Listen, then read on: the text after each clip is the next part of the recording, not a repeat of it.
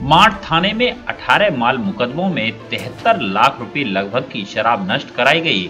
माठ थाने में न्यायालय के आदेश पर गुरुवार की रात्रि में माठ पुलिस ने करीब तिहत्तर लाख रुपए की अवैध शराब को नष्ट कराया।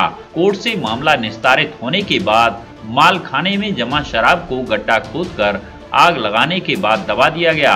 निस्तारण की कार्यवाही के दौरान प्रभारी थाना इंचार्ज दिनेश चंद शर्मा, विकास दुबे, आबकारी निरीक्षक विपुल दुबे अभियोजन अधिकारी मौजूद रहे। वहीं अभियोजन अधिकारी द्वारा बताया गया कि 18 मुकदमों में अंग्रेज़ी और देसी अवैध शराब को नष्ट कराया गया है, जो लंबे समय से थाने के माल खाने में जमा पड़ी थी।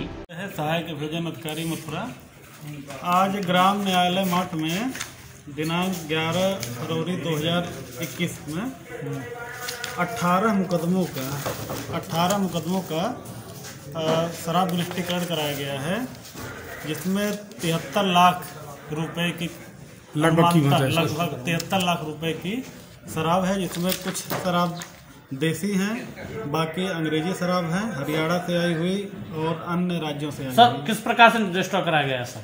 इसको डिस्ट्रॉय कराया जा रहा है गड्ढा खुदवा के और वहाँ पे प्रॉपर तरीके से उसको गड्ढा खुदवा के जेसीबी मशीन से डल- डाल के और उसको पूरे तरीके से डिस्ट्रॉय करके उसको मिट्टी से उसको ढक दिया जा रहा है।